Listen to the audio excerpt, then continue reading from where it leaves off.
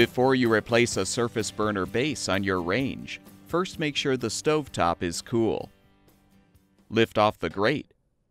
Remove the burner cap and lift off the old burner base. Install the new surface burner base by aligning the tab in the base with the notch in the main top. Replace the cap and reposition the grate, making sure the bend in the frame faces the companion grate.